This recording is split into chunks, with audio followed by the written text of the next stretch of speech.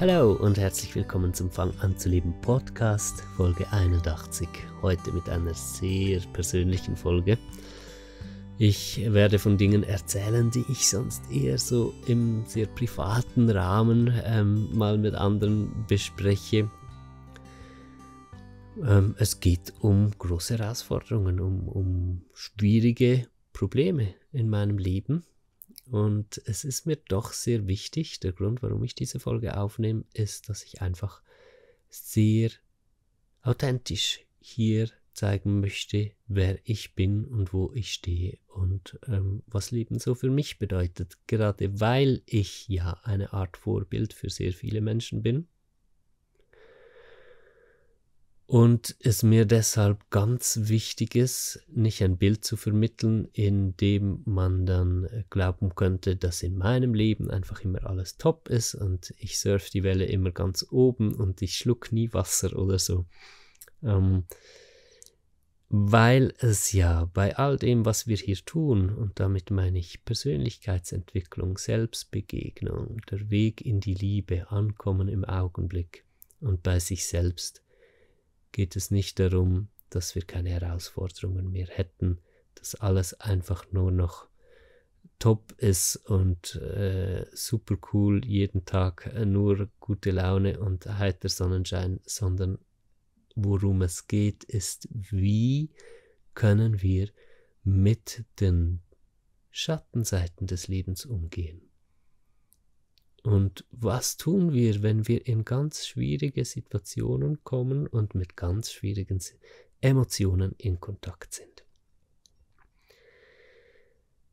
Wenn du schon länger Fang an zu leben Podcast-Hörerin bist, dann hast du vielleicht die Folge gehört, ähm, als ich über den Verlust meines Augenlichts gesprochen habe, vor circa drei Jahren. Ich war da sehr aufgelöst, weil äh, die Erblindung fortgeschritten ist und ähm, es einfach immer mehr absehbar wurde, dass ich so weit erblinde, dass ich mein Leben nicht mehr ohne Hilfe managen kann. Und das hat mich wahnsinnig mitgenommen, tut es bis heute immer wieder. Es ist äh, eine Geschichte von großen Up und Downs, äh, die ich damit erlebe. Vielleicht, um da einfach äh, ja, einen guten Rundumschlag zu machen beim Erzählen, fange ich doch ganz vorne an. Das war von ins, vor inzwischen über zehn Jahren hat das angefangen. An einem wunderschönen Sommerabend äh, bin ich draußen gesessen. Ich glaube, das war äh, August, ja, ähm, auf der Dachterrasse in Zürich. Äh, unsere Wohnung hatte eine Dachterrasse.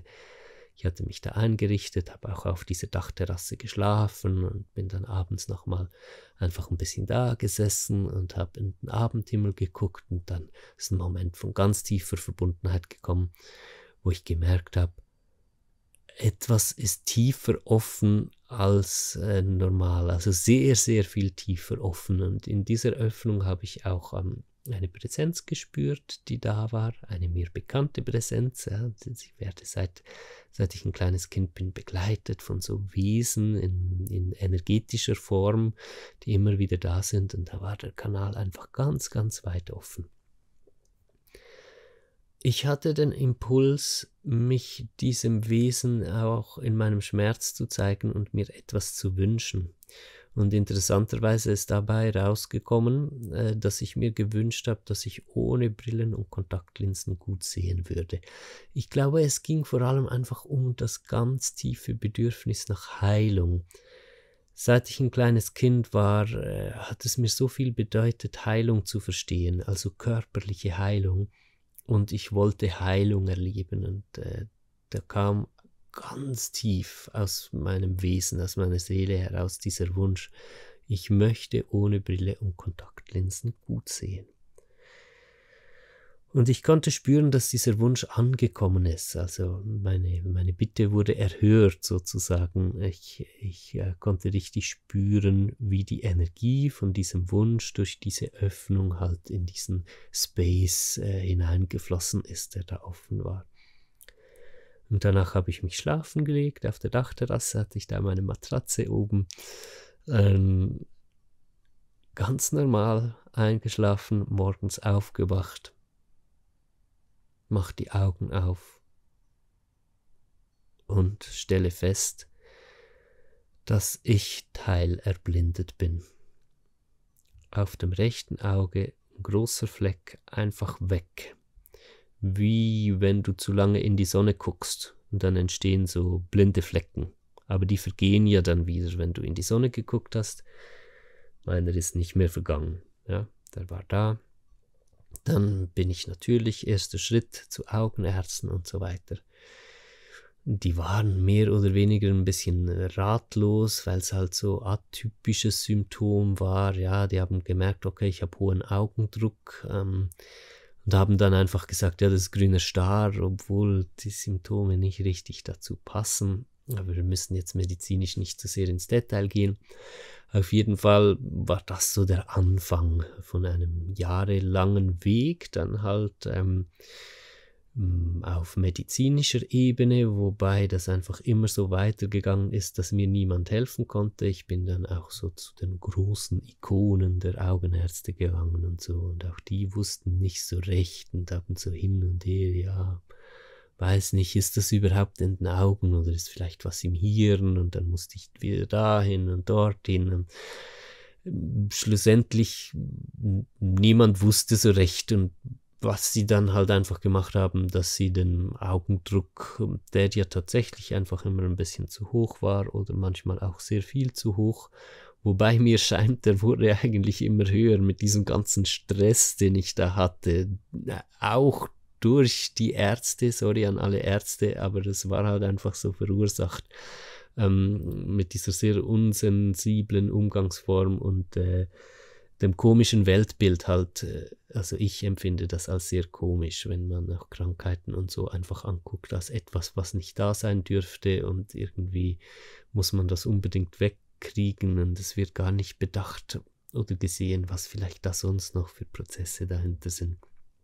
Naja, ich bin da durch und habe da immer weitergemacht, auch medizinisch, und äh, es hat aber gar nichts gebracht. Also mein Augenlicht ist in ähm, relativ regelmäßigen Abständen ist das immer wieder passiert. Ich habe so Augeninfarkte bekommen. Ähm, alles hat nur noch geflimmert und so, und wenn der, der, das Flimmern und alles weg war, hat wieder ein weiteres Stück in meinem Sichtfeld gefehlt und mein Sichtfeld äh, hat Schweizer Käsecharakter halt immer mehr bekommen und dann da wieder was weg und dort wieder was weg. Und ähm, ja, das war der Horror. Ich meine, sicher auch gerade für mich mit meiner Persönlichkeit, wo es mir sehr wichtig ist, dass ich stark sein kann für andere ich bin gerne das stärkste Glied in der Kette. Ich mag es einfach selbst so gut in Kraft, in meiner Kraft zu sein, dass ich auch einfach Raum für alle Menschen um mich herum bieten kann, ähm, dass sie, ja, dass ich Ruhe ausstrahle, dass ich Sicherheit geben kann, dass ich mithelfen kann, das ist für mich etwas sehr, sehr Schönes und doch sehr Essentielles auch in meinem Leben. Ähm, meine ganze Persönlichkeit ist schon ziemlich auf dem aufgebaut, dass ich da sein kann für andere Menschen. Und dann war ich und bin ich nach wie vor einfach mit dem konfrontiert, dass sich da vielleicht ganz grundlegend etwas ändern könnte und dass ich abhängig werde von der Unterstützung von anderen Menschen, dass es mir nicht mehr gut geht dass ich den Alltag nicht mehr bewältigen kann, weil ich nicht mehr sehe und einfach den Rest meines Lebens Hilfe brauche für ganz normalen Alltagskram halt. Und äh, puh. Ja, es ist immer eine Sache, wenn man das so hört und nicht so direkt betroffen ist, kann man sich ja denken, na ja, so schlimm ist doch auch nicht und so, ja. Aber direkt da drin zu stecken halt, ist schon eine sehr intensive Sache. Und ich bin durch richtig wilde Prozesse gegangen und das ist bis heute noch so.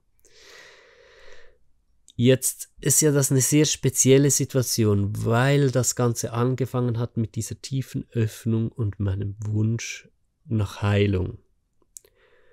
Und die erste Reaktion auf diesen Wunsch nach Heilung war die erste Teilerblindung. Und zwar direkt danach, ja. Abends diesen magischen Moment gehabt, die Energie vom Wunsch ist raus, nachts erste Teilerblindung.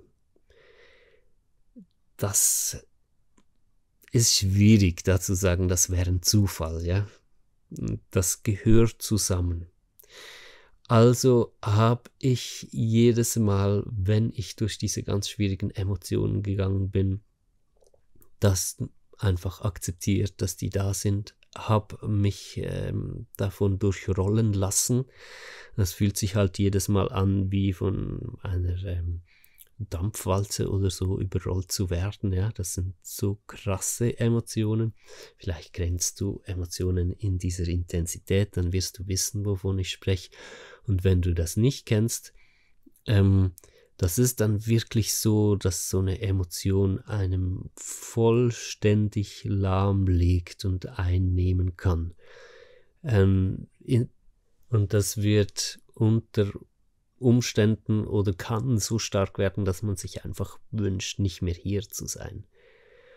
Nicht eine Todessehnsucht in diesem Sinne oder dass man suizidiv wäre oder so, sondern einfach das, das, äh, dass man lieber nicht mehr existent wäre in diesem Moment, als diese krasse Emotion auszuhalten.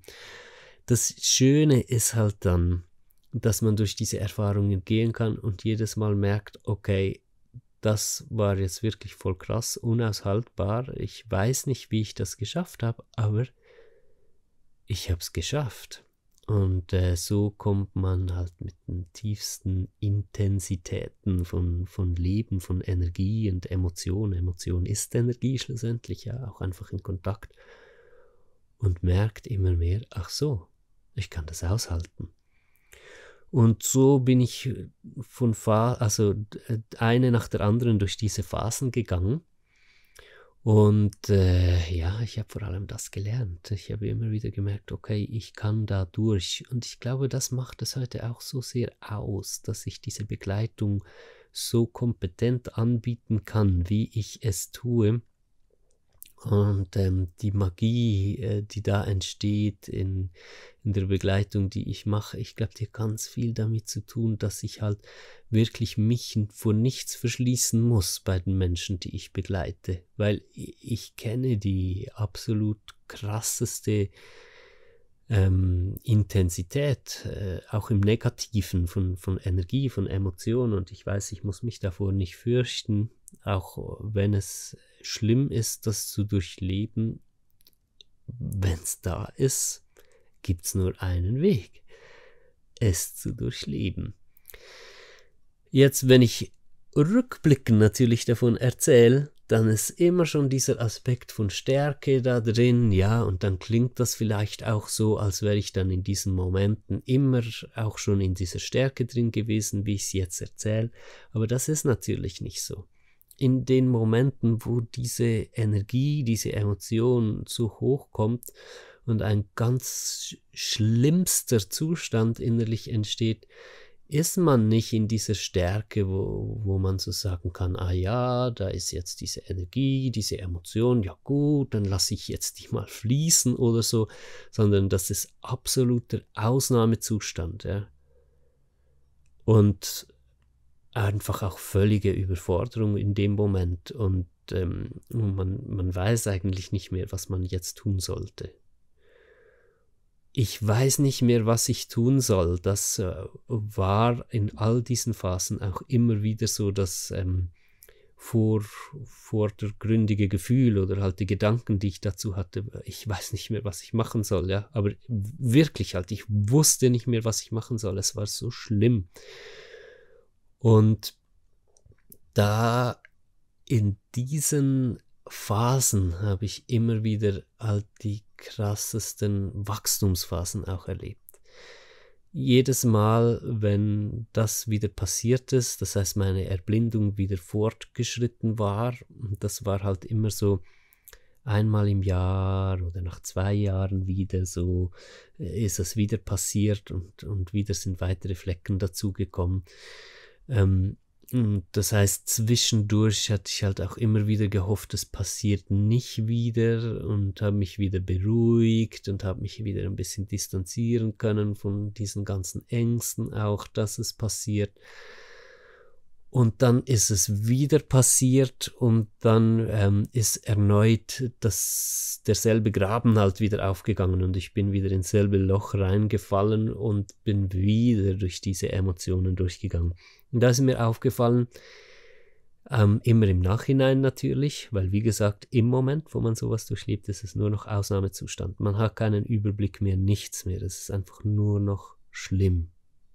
Und nichts anderes als schlimm. Und dann, wenn es durchstanden ist, äh, dann kann man anfangen, das Ganze auch so ein bisschen ähm, objektiver zu betrachten. Und da habe ich jedes Mal gemerkt, ah, ich bin ja mega gewachsen. Ich, ich konnte ja diesmal schon wieder ganz anders damit umgehen.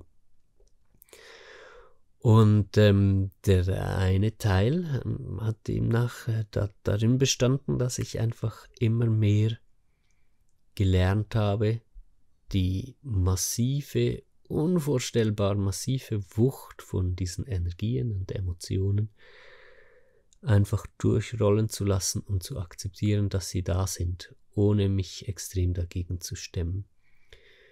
Der andere Teil, der, das sind wie zwei Wege oder sind es bis heute, ich stecke ja da noch drin, ja, der andere Weg ist der, dass ich gucke und wie kann ich da heilen. Und jetzt so die ersten acht, neun Jahre habe ich zero, null messbaren Erfolg im Außen erlebt mit Heilen von äh, diesen Erblindungen. Die Allgemeinmedizin sagt, abgestorbene Sehnerven können sich nicht mehr erholen. Aber dass die Allgemeinmedizin das sagt, hm, ja klar tut's etwas mit mir, aber ich habe einfach immer gespürt, es stimmt nicht. Ich habe ein sehr, sehr klares Gefühl, Gespür dafür, was stimmt und was nicht. Und ähm, ich wusste einfach von Anfang an immer wieder, das stimmt nicht. Auch Sehnerven können regenerieren. Aber die große Frage war, wie? Was hängt denn damit zusammen? Und ich habe enorm viel investiert da ich habe die emotionalen Prozesse dazu halt auch wirklich aktiv gesucht. Das heißt, auch ähm, in den Zeiten, wo das Augenleiten nicht so präsent war, habe ich trotzdem immer an diesen Themen, emotionalen Themen weitergearbeitet. Habe ähm, viel rumprobiert, halt über diese ganze Zeit hinweg, wie könnte körperliche Heilung äh, passieren bin dann aber vor allem auf die emotionale Heilung und energetische, also energetisch, da meine ich jetzt nicht etwas, äh, was wir noch nicht kennen, sondern mit energetisch meine ich also die, die psychische Energie, die ja auch einfach schlussendlich Emotionen sind, ja. Ähm, die emotionale Heilung habe ich immer mehr verstanden, wie die passiert und die körperliche Heilung so ganz, ganz langsam. Dann bin ich dann nach einigen Jahren war ich mal so weit, dass ich zum Beispiel Entzündungen voll krass gut ähm, behandeln konnte bei mir oder bei anderen Menschen ähm, mit messbarem offensichtlichen Erfolg. Also wenn eine Entzündung da war, dann konnte ich entsprechend äh, energetisch mich damit verbinden und das beruhigen, dann ist die Entzündung verschwunden. Oder bei anderen eher kleineren ähm, Leiden halt, körperlichen Leiden konnte ich da sehr gut intervenieren oder ja nein, ähm, ist falsches Wort dafür, äh, sehr gut behandeln, energetisch behandeln und äh, die körperlichen Leiden aufheben. Aber bei massiveren körperlichen Problemen äh, habe ich festgestellt, dass äh, da, da, hängt viel, viel mehr zusammen.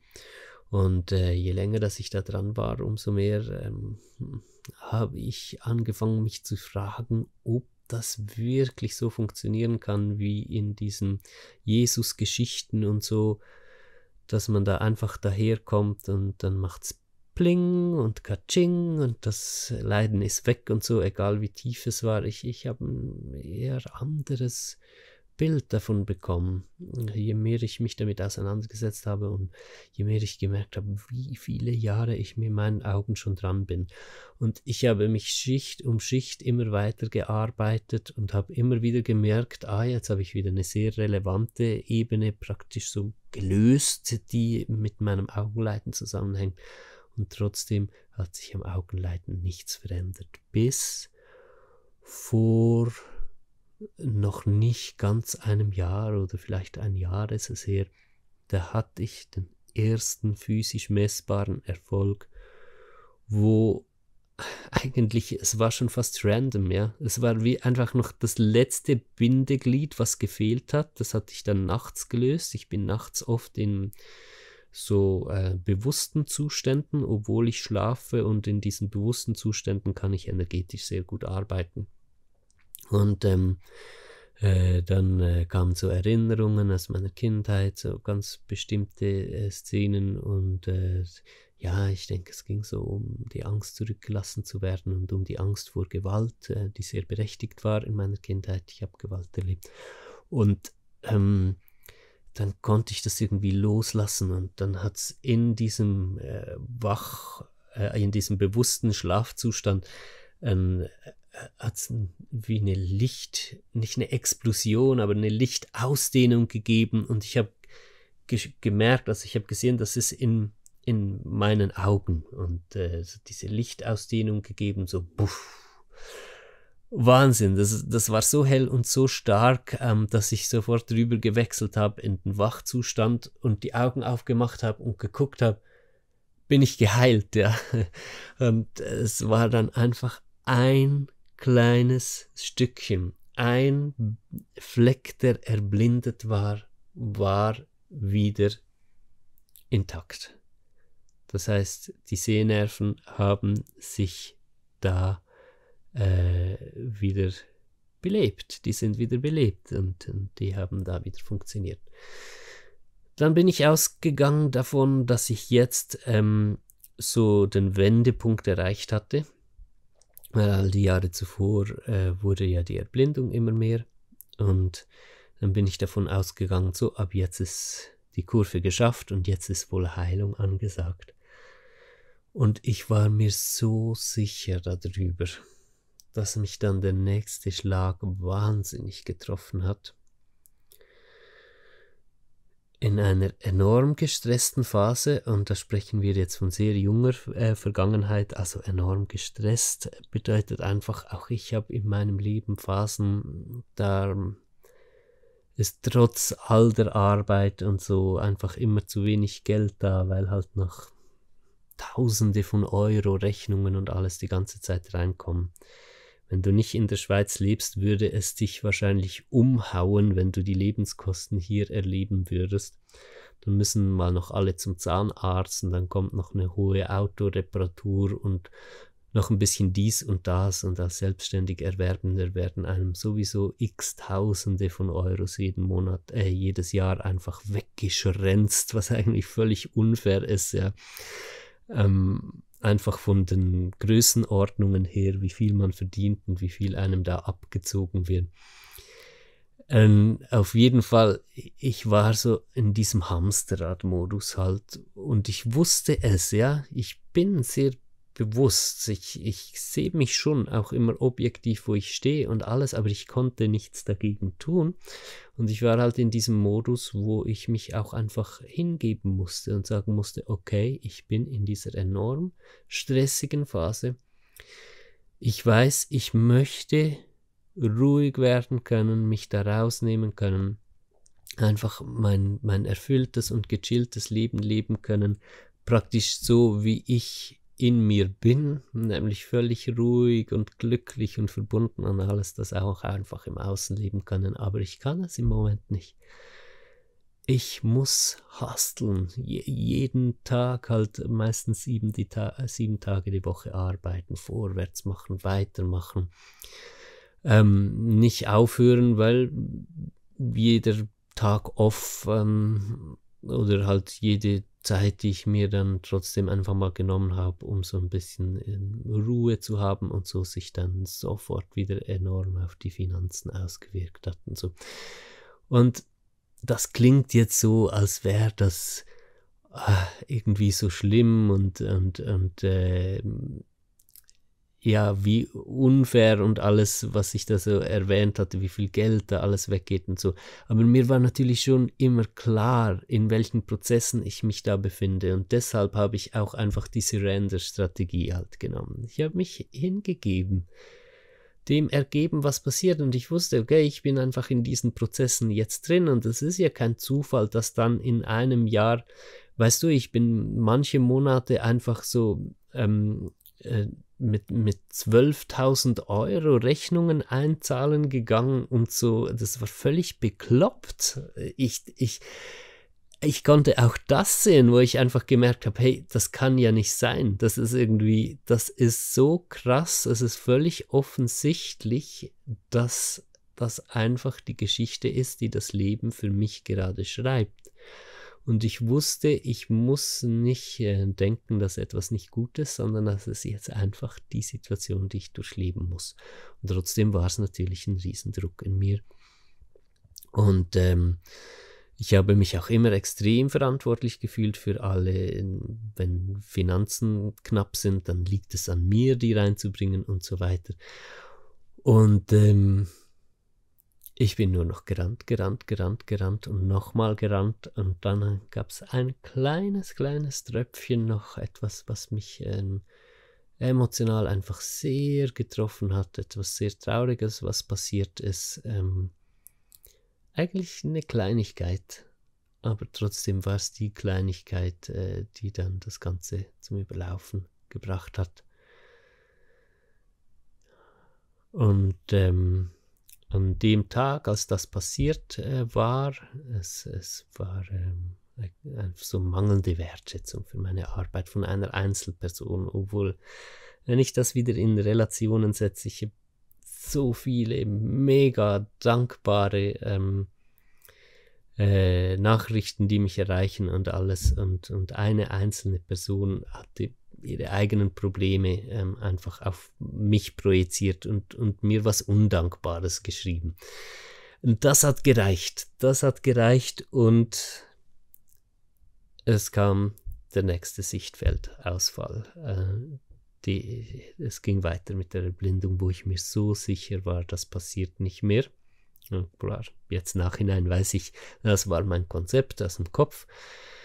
Ähm, äh, das ich mir halt so zurechtgelegt hatte, um gut umzugehen mit der Situation. Es, es war nie irgendwie so die, die Kraft des Lebens oder meine spirituellen Begleiter da, die mir gesagt hatten, hey, ab jetzt wirst du nur noch heilen. Ja, das war einfach meine Idee, die ich halt so hatte, weil ich dachte, ja gut, jetzt habe ich zum ersten Mal Heilung erlebt, dann wird das ab jetzt so ähm, die Melodie sein, die spielt und das andere mit der Degeneration ist vorbei.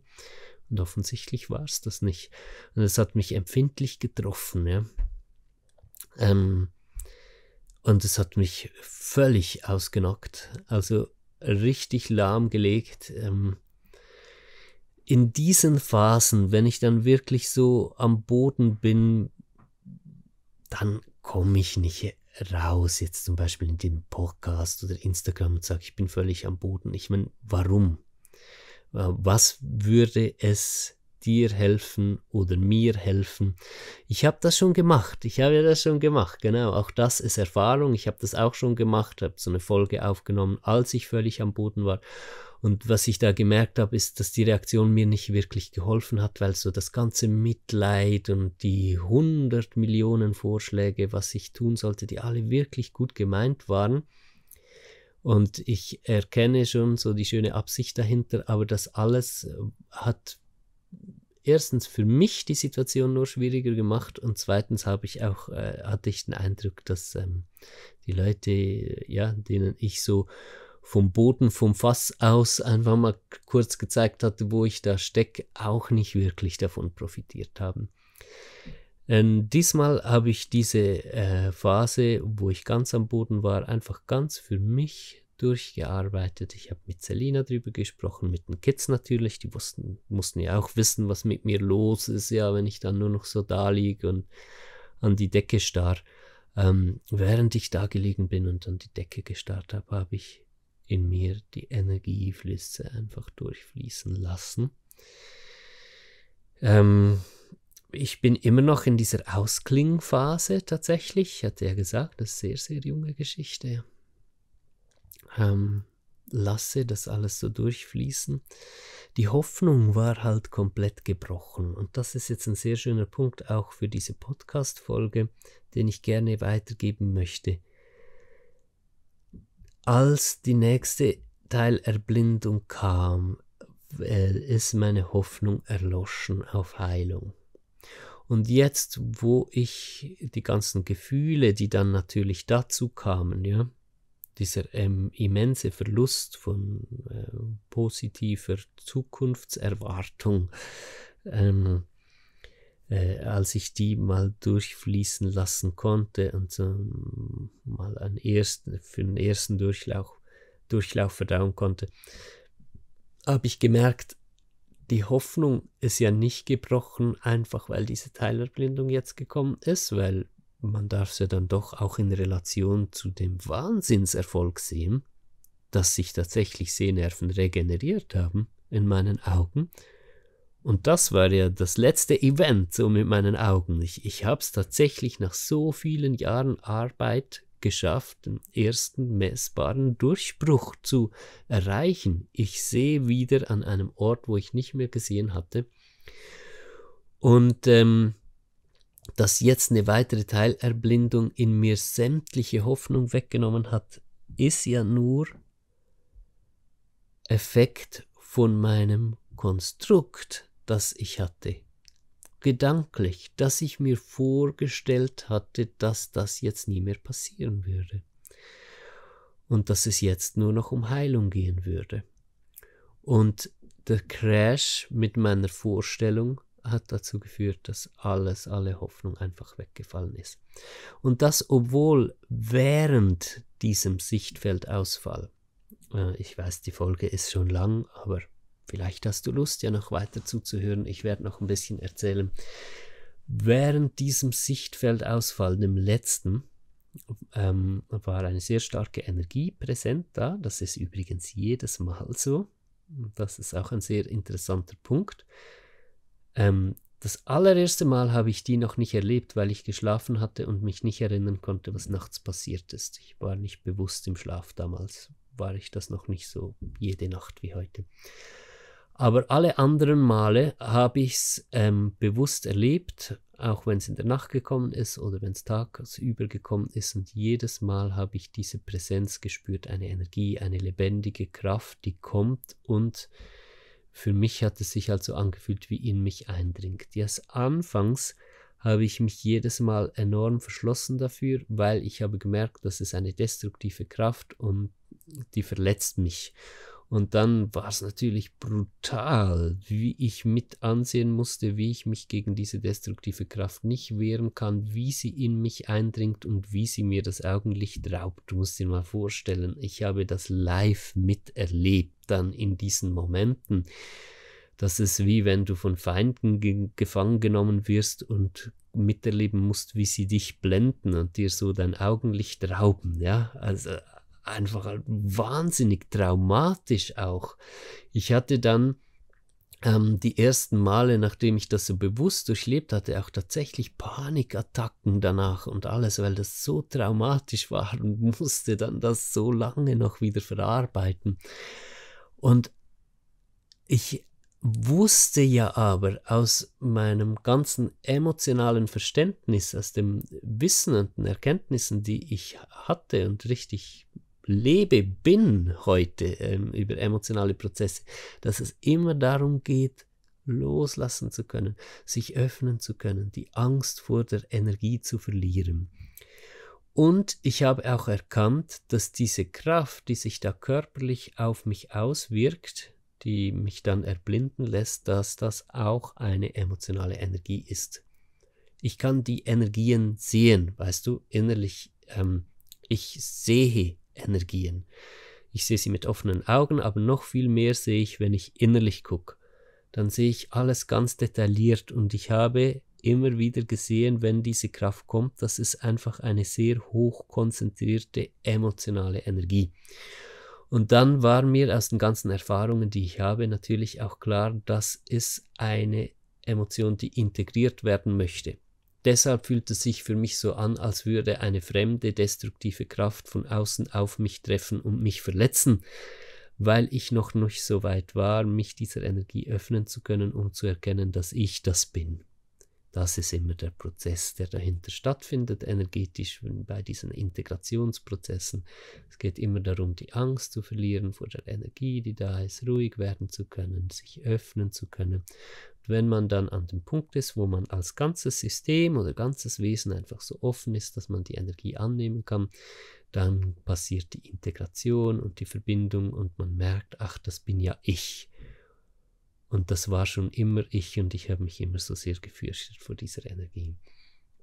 Jetzt hatte ich also diese Grundlage für den ganzen Prozess, aber das hat sich natürlich dann über Jahre wieder hingezogen, weil solche Prozesse gehen nicht mal so schnell schnell. Selbst wenn man ganz genau weiß, wie sie funktionieren, ist es doch ein enorm langer Weg, äh, diese Prozesse zu gehen.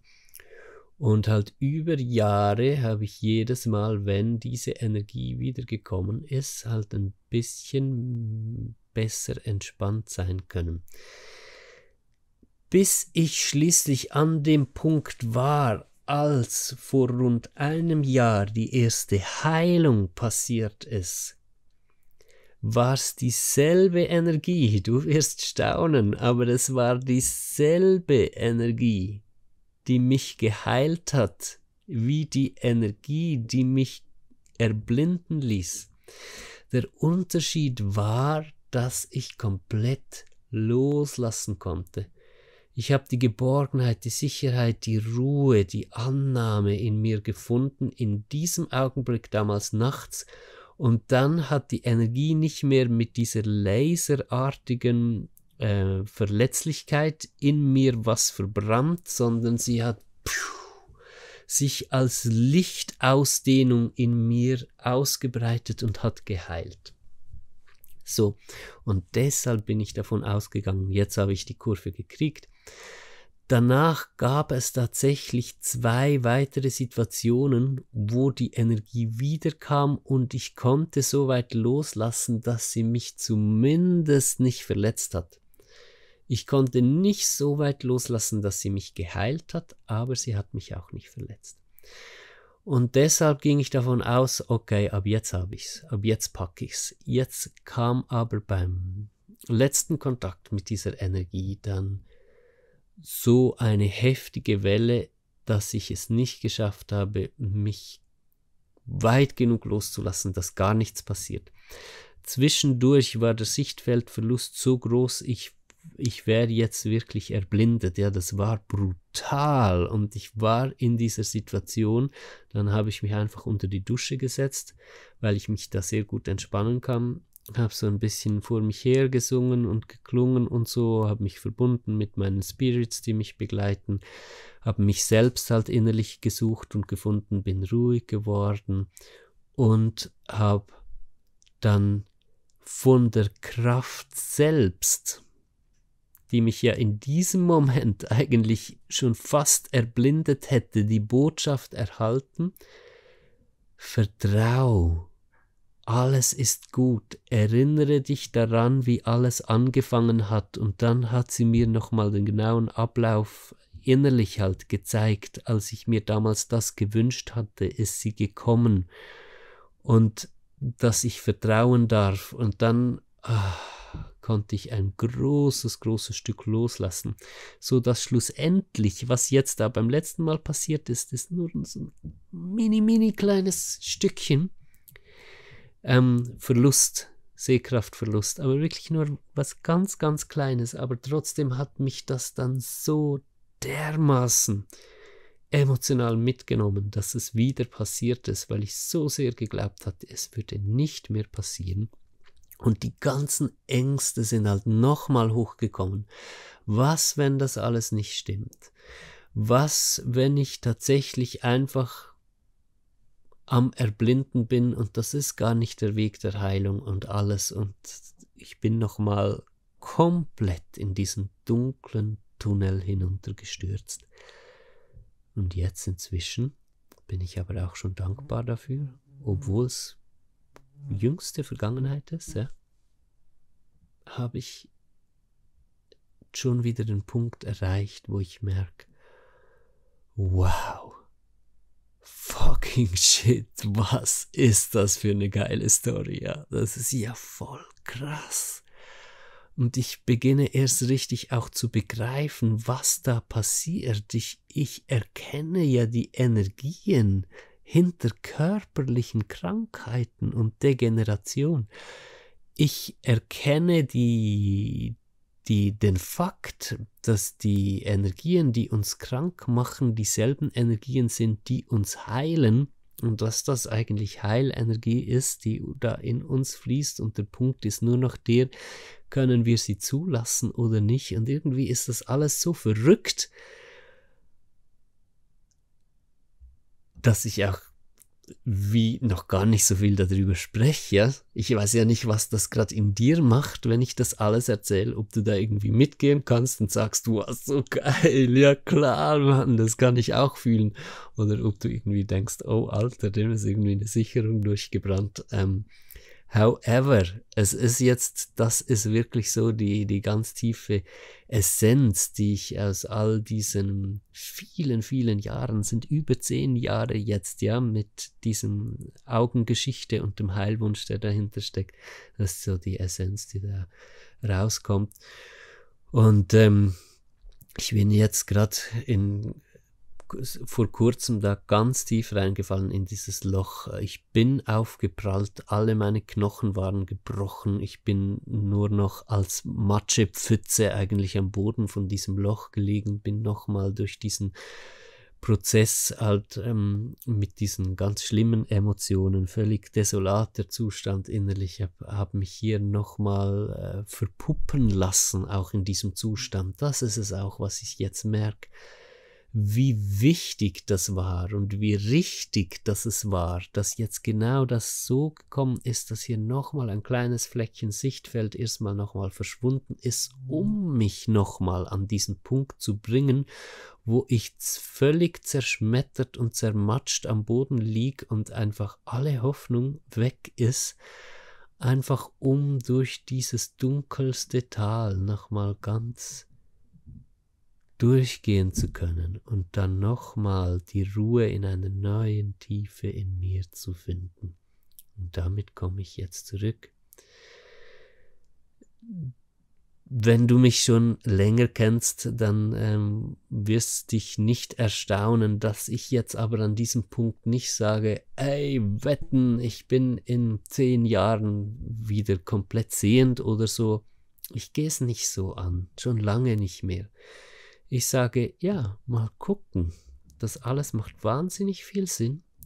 Vermutlich bin ich hier wirklich auf dem Weg der Heilung und tatsächlich auch dabei, diesen Wunsch zu erfüllen, den ich da vor über zehn Jahren aus tiefstem Herzen gestellt hatte. Ich möchte heilen, das war ja nicht nur auf mich und meine Brille und Kontaktlinse bezogen, sondern das ist dieser ganz tiefe Wunsch in mir und ich weiß, ich bin dieser Wunsch schon immer, ich möchte heilen können, emotional, aber auch körperlich. Ich, ich schwinge da drin einfach als Seele, ich möchte heilen können. Und ähm, es macht schon alles Sinn, ja? das ist wohl der Weg, auf dem ich bin. Aber hey, wie es rauskommt, wie die ganze Geschichte weitergeht, wir werden sehen. Und solange du willst, bist du da ja auch mit dabei. Ich glaube nicht, dass ich ähm, so schnell hier mit diesem Podcast aufhören möchte. Im Blog habe ich übrigens auch noch gestartet. Ähm, auf meiner Seite, da gibt es einen Artikel jetzt schon mal. Und äh, ja, ich werde mich weiter teilen und äh, auch weiter wohl darin wachsen, mich immer mehr und mehr ähm, auch mit diesen sehr persönlichen Sachen zu zeigen, weil ich glaube, es ist die Zeit dazu. Ah komm, was wollen wir da irgendwie noch nicht einfach alles aus uns heraus zeigen und so. Wir, wir wachsen doch so schön daran. Und ähm, wenn du jetzt noch hier sitzt und immer noch zuhörst, dann hat es dir wohl auch gut getan und äh, du hast es auch genossen, so ähm, ein ehrliches Teilen hier zu erleben. Ja, schön. Dann schauen wir mal, wie es weitergeht. Und ich freue mich wie immer über Kommentare natürlich von euch. Auch Zuschriften freue ich mich immer per E-Mail, ähm, auch wenn ich nicht immer dann ausführlich zurückschreibe, äh, dürft ihr natürlich gerne schreiben. Bitte keine Heilvorschläge und so. Ich bin nicht an einem Punkt, wo ich das brauche oder möchte. Ähm, ich komme gut mit dieser Situation klar und ich fühle mich sehr wohl da drin und aufgehoben und geborgen und ich weiß, wo ich stehe und wie ich diesen Weg gehen möchte. Äh, ähm, ich weiß, gute Ratschläge sind immer lieb gemeint, aber ich möchte sie an dieser Stelle bitte nicht. Aber schöner Austausch und ähm, ja, ein paar Zeilen auch per E-Mail, jetzt zum Beispiel nach so einer Podcast-Folge, freuen mich natürlich sehr. Ich wünsche dir eine wunderschöne Zeit. Ich freue mich schon auf das nächste Mal, wo wir uns hier hören. Schön, dass es dich gibt. Äh, schön, dass wir hier zusammen auf diesem total magischen Weg sind. Ich wünsche dir alles Liebe und bis bald. Bye bye.